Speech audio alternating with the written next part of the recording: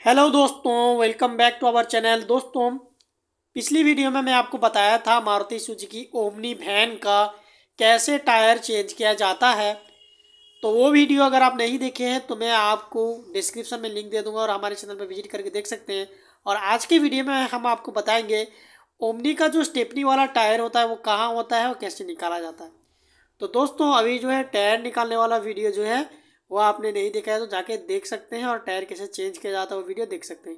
तो दोस्तों, driver side के पीछे जो पैसेंजर वाला सीट होता है और उसके नीचे एक नट होता है, उस नट को ढीला कर देने से ही नीचे जो टायर इसमें लगा है, स्टेपनी वाला, वो निकल कर आपके सामने आ जाएगा। दोस्तों, इसको पूरा आपको खोलना नहीं है। अगर आप पूरा खोल के निकाल देंगे, फिर लगाने में भी आपको दिक्कत है। बस ढीला कर दें और इस रॉड को ऊपर टेक दें। उसके बाद आपका जो टायर है वो निकल जाएगा बड़े आसानी से।